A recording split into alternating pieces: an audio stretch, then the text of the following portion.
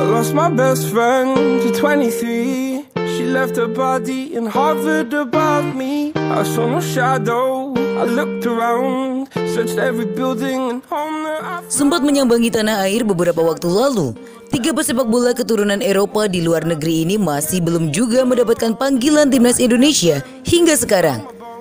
Lalu siapa saja mereka? Dalam beberapa dekade terakhir, memang banyak sekali pemain keturunan Indonesia di Eropa sana yang tereksplor oleh media serta netizen tanah air.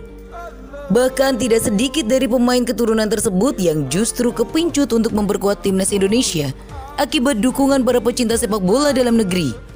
Salah satu yang teranyar adalah Dion Mark, gelandang muda keturunan Palembang di Liga Belanda yang sempat menaklukkan Juventus dan mengaku siap untuk memperkuat timnas Indonesia.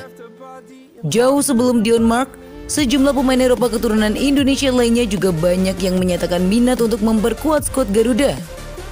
Bahkan beberapa sampai datang langsung ke tanah air. Namun sayangnya meski sudah menyatakan niat besar untuk berseragam timnas dan mengunjungi Indonesia, tiga pemain berikut ini sampai sekarang justru belum mendapat panggilan dari pelatih tim Merah Putih.